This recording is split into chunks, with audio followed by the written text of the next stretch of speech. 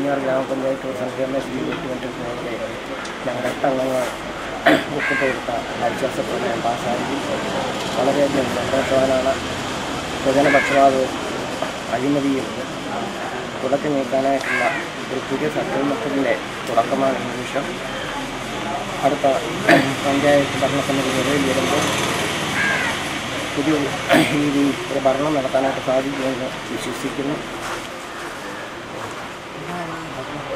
കഴിഞ്ഞ ദിവസം പ്രസാദേട്ടൻ കോൺഗ്രസിന്റെ ഒരു മീറ്റിംഗ് പങ്കെടുത്തത് വാട്സപ്പിൽ കൂടി ഒരു സോഷ്യൽ മീഡിയ മോശക്കാരനായിട്ട് പോയായിരുന്നു.